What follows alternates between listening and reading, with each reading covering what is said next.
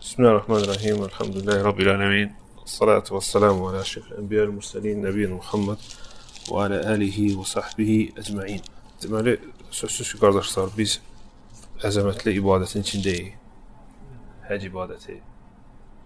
Və istəyirik təkrar eləyək və nəzər salaq hansı əməllər bizi gözləyir bundan sonra. Lakin mühümdür ki, həcin məqsədi və fəziləti barədə özümüzə yada salaq. Bu ibadət nə üçün lazımdır? Ən birinci, hamınız bilirsiniz ki, həc İslamın 5 rükunlardan biridir. Və əzəmətli bir ibadətdir. Başqa rukunlardan fərqli olaraq bunu yalnız ömrüdə insan gəlir bir dəfə eləsin. Cəmi bir dəfə. Bu da onun mühümliyini göstərir. Onun fəzilətini göstərir. Və həmçinin göstərir ki, bu ibadət müsəlman gərək onu hazırlasın. Və bu tək ibadətlərdəndir ki, insan həm bədəni ilə onu eləyir, həm pulu ilə, həm malı ilə. İki şərt orada olmalıdır.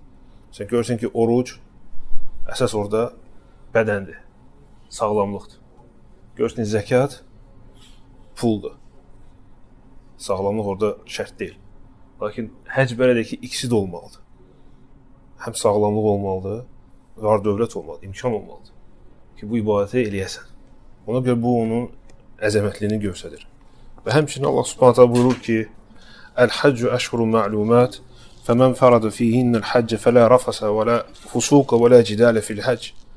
Həcc məlum bir aylarda olunur və kim ki həcc eləmək istəyir, gərək nə günah etsin, nə mübahisə eləsin, nə də ki cinsi əlaqəyə və ya onu aparan əməllər eləsin. Yəni həcc vaxtı.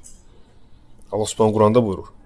Və həmçinin Peyğəmbər sallallahu açıqlır bu ayəni. Deyir ki, "Mən həccə fələm yarfuz və ləm yafsuq raca min dunubihi kayawmin waladatu ummuhu." Əgər bir insan həcc edərsə və bu həcdə günah etməzsə, yaramaz işlər eləməzsə, mübahisə eləməzsə, nə olar? Hələ bil ki, təzə doğulmuş kimi olar. Yəni günahsız. Və bu da qardaşlar həccin fəzilətini göstərir. Və bəzi alimlər buyurublar ki, heç bir başqa bir ibadətdə belə bir mükafatı Allah Subhanahu vəd etməyib. Ki bütün günahlarını bağışlasın. Var ki, məsələn, Arafa orucu günü tutan, məsələn, 2 il, 2 il, Aşura günü tutan 1 il sair başqa, amma hansı bir ibadət bütün günahlar bağışlansın, belə bir ibadət yoxdur. Yəni Peyğəmbər sallallahu deyir ki, kim ki həcc eləyərsə, o həcdə günah işlətmərsə və həmçinin cinsi əlaqə və onu aparan əməllər eləmərsə, hələ bil ki, o təzədən doğulub, günahsız. Və həmçinin mübahisə eləməsi necə Quran ayədə buyurur. Və burada da mühüm nədir qardaşlar? Burada da mühüm nədir? Fikir verin, Peyğəmbər sallallahu hələ bil ki, bunları şərt eləyib. Bu da bizim üçün mühümdür. Məsələn, biz indi birazdan gedirik həcc əməlləri etmək. Şərt kimi buyurub ki, hələ belə həcc yox. Bu əcrə, savaba nail olmaq istəyirsənsə, həcci belə eləməlisən. Yəni həcc zamanı, həcc vaxtı günah etməməlisən. Mücadilə, yəni mübahisə eləməməlisən. Yaramaz işlər görməməlisən ki, tamam kamil həcc olsun.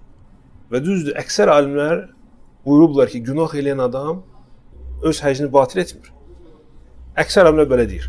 Baxmır, hətta bəziləncə İbn Hazm deyir ki, hətta həcci batildir. Lakin əksər alimlər deyir ki, batil deyil, lakin özünü bu savabdan məhrum edə bilər. Sən həccin olmusun, qəbul olunsun. Lakin sən bu savabla qayıtmayacaqsan. Hansı ki, təzədən hələ bir doğulmusan. Ona görə də qardaşlar, nədir mühüm nədir? Həcc tərbiyədir, məktəbdir. Özümüzə fikir verək. Çətinliklər olacaq. Müəyyən bir görürsən ki, səbirsizlik insana gələcək. Gərək səbr eləyəsən. Bu məktəbi keçəsən ki, bil ki, cəmi 5-6 gündür. Səbr elə ki, bu böyük bir savaba nail ola biləsən. Çünki əziyyət çəkirsən, pul xərcləmirsən, işini qoymusan orada, sağlamlığı qoyursan təhlükə altına. Belə eləmə ki, hamısı hədər olsun. Və bu savaba nail ol. Ona görə Peyğəmbər başqa həcdə buyurur ki, "Əl-həccül məbrur leysə lehu cəzaun illel cənnə." Doğru, məbrur yəni doğru həcc. Hansı ki biz qeyd etdiyimiz şeylər hamısı orada var. O həccin savabı, əcri, mükafatı yalnız cənnətdir. Başqa heç nə yoxdur. Ona görə Allah Subhanahu istəyirik Allah Subhanahu bizə belə məbrur həcc nəsib etsin və o düzgün həcc eləyir. Və burada bilirsiniz qardaşlar, hər bir ibadətdə iki əsas şərt var. Biri ixlas, yəni xalis Allah üçün eləmək. Onun barədə biz indi danışdıq. Və həmçinin ikinci mühüm şərt nədir? Sunna, yəni ittiba. Bu əm ibadəti peyğəmbər necə eləyib belə eləmək. Peyğəmbər sallallahu necə eləyib belə eləmək. Ona görə gərək biz də baxaq Peyğəmbər sallallahu necə eləyib bu həcci ki bu savaba nail olaq.